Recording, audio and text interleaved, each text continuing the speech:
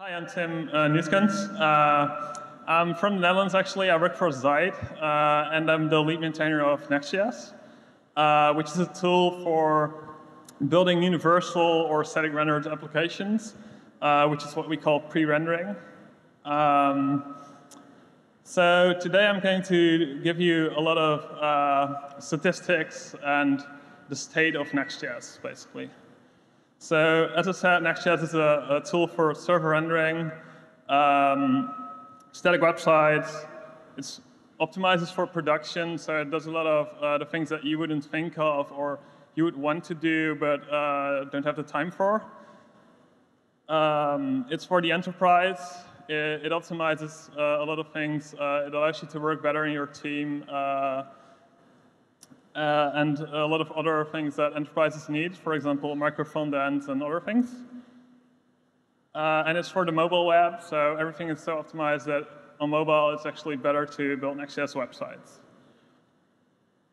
So the first thing I like to start off with is the amazing companies that are using Next.js currently in production, uh, which goes from very large companies like uh, GitHub or Uber or uh, Tencent, which is like the, the sixth largest website of the internet, uh, is QQ.com, which is a news website in China. It's the second largest website in China.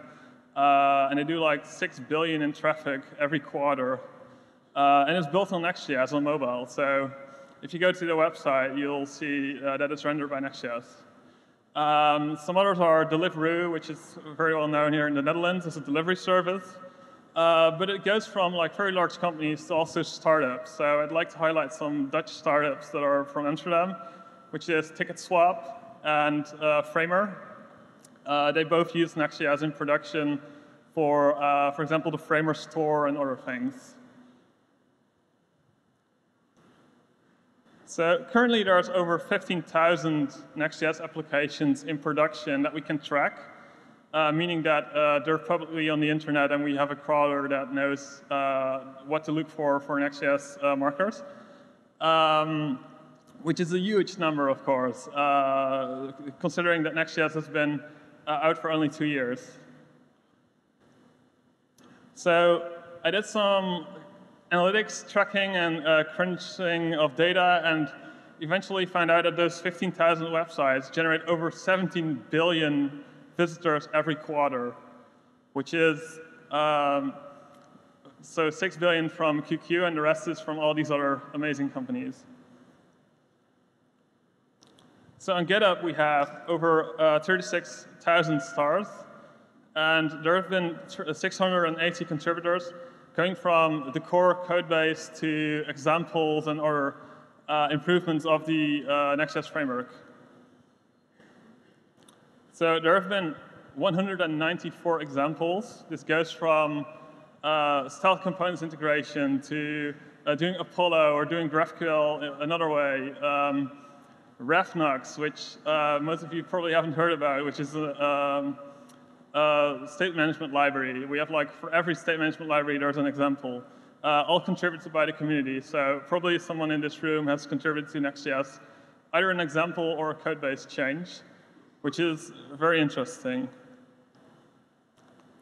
So on Spectrum, which is a, a community uh, chat, uh, we have over 6,000 members that are all collaborating on uh, their applications, questions they have. Uh, they talk to the uh, core contributors, me, for example, or other people. And this one is the most interesting one for me there have been 90,000 or almost 90,000 people that have learned Next.js through next.js.org learn, which is an interactive guide that allows you to, bu to build Next.js applications and uh, learn uh, while doing so. So it has quizzes and uh, you go through uh, all these things that help you learn. Uh, we're also very excited to introduce to uh, announced that it's been made faster. Uh, it's all built in MDX now. And uh, traversing to the website is just much quicker now. Uh, if you haven't used Next.js before, you can uh, go to next.js.org learn and learn how to use Next.js. So I'm um, just doing these um, uh, like these quick slides to uh, go into something else, which is uh, you can go to Next.js.org to learn more about Next.js, but here comes the other thing, which is um, MDX. I don't know if you heard of MDX. Uh, can, can we do hands? So a lot of people have heard of it. Um, MDX is this, this format that allows you to do uh, Markdown with JSX in it, which looks like this. So you can import React components, you can put it into uh, your uh, Markdown, so you can write like blog posts that are interactive, you can do documentation that is more interactive, and that kind of thing. So MDX in numbers, uh, it's been released, uh, it was released last year at Zeit uh, and so far it has had uh, 2.2 million uh, NPM downloads and 6,000 GitHub stars.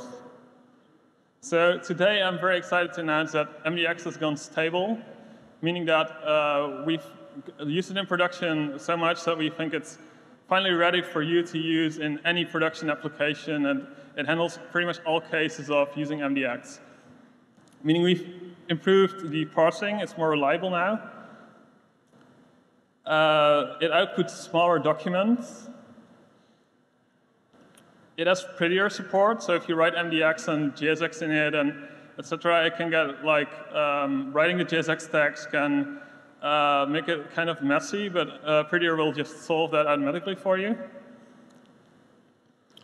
Um, and we are introducing MDX.com, which is a website for MDX uh, to learn about MDX and going through uh, like multiple steps of learning, but also documentation for integrating in frameworks.